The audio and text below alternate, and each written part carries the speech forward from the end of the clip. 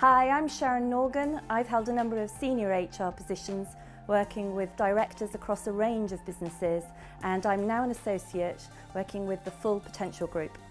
So how many times in business have you been asked by managers, by leaders across the business that heart-stopping question?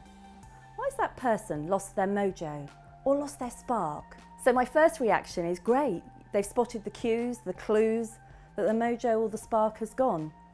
And then the second heart-stopping question arrives. So what exactly can I do about it?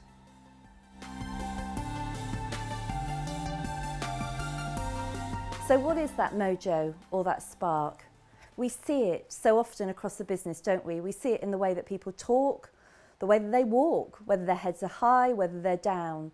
We see it in meetings, whether people are really present. But ultimately, that mojo comes from within. It's an energy, isn't it? It's an energy that drives us and others. It's what motivates everybody.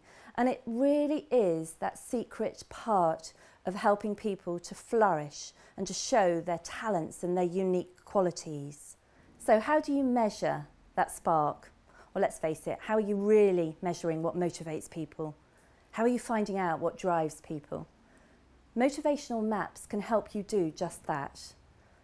They're a great tool to help you find out at an individual level, ramping it up to a team level and ultimately to the organisational level, what really is driving people at any point in time and most importantly, what can be done to boost that motivation so that people are really operating at their peak performance and getting that mojo back.